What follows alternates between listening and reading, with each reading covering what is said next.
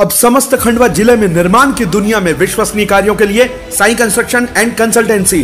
जी हाँ सभी प्रकार के भवन, दुकान, ऑफ़िस, गोडाउन, मांगलिक परिसर, hotel, garden, farm house warehouse के निर्माण कार्य और नगर पालिक निगम की टीएनसी की परमिशन।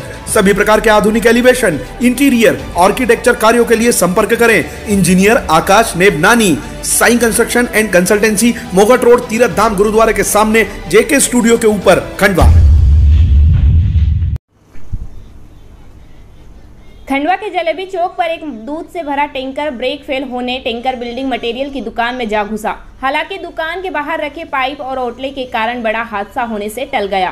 टैंकर की चपेट में आया, ऑटो रिक्शा पलटी खा गया, बाइक सवार दो युवकों को गंभीर चोटें आई है। जिन्हें जिला अस्पताल भेजा गया।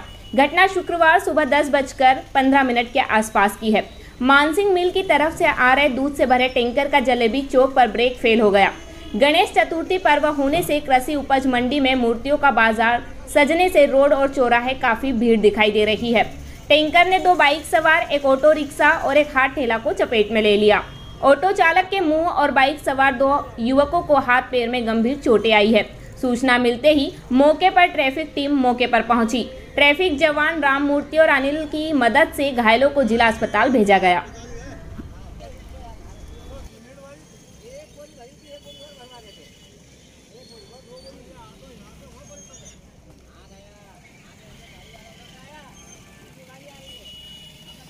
अभी जलेबी चौक चौराहे पे चौकी के सामने एक गोकुल होटल से निकलता हुआ टैंकर जो दूध का था वो निकल रहा था। उसमें टेक्निकली प्रॉब्लम होने के कारण उसका ब्रेक नहीं आया।